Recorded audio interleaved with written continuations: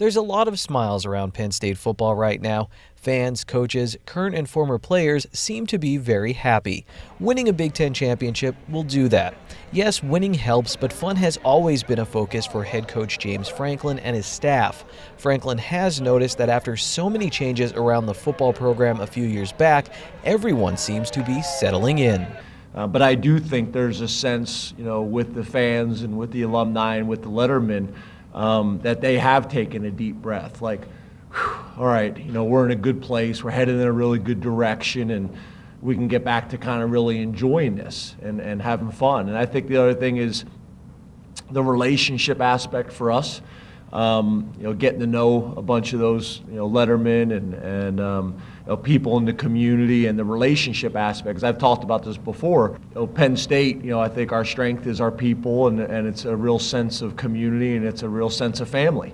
And I think the consistency that we've had on the staff for so long um, really helped with that.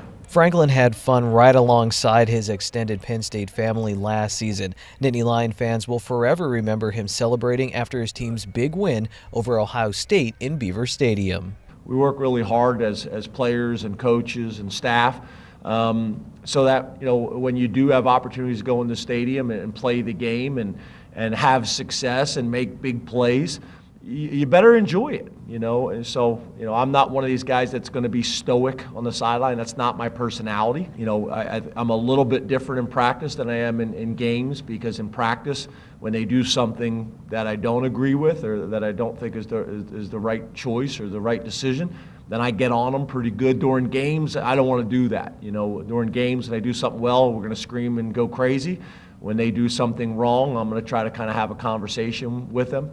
Um, and but practice is kind of different. The good times may just keep on rolling for Franklin and the Lions. Penn State has some stars coming back in 2017 like running back Saquon Barkley and quarterback Trace McSorley. And here's more good news. While depth has been an issue for Penn State since the NCAA sanctions that were handed out in 2012, Franklin and his staff are starting to stockpile some talent. So I'm constantly studying our scholarship grid and where do I feel really good. To me, to me, at every position, we should have a starter that we feel really good about, that we feel like we can win in the Big Ten with.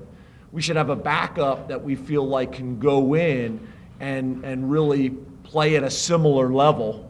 And then you should have a young, exciting player kind of that's developing that you're really excited about his future. And you need that at every position. And I wouldn't say we have that at every position, but we're much closer to that than you know now. Work hard, celebrate hard. That's Penn State football under James Franklin. He says football is supposed to be fun, and after a few seasons in Happy Valley, many are saying, mission accomplished, coach.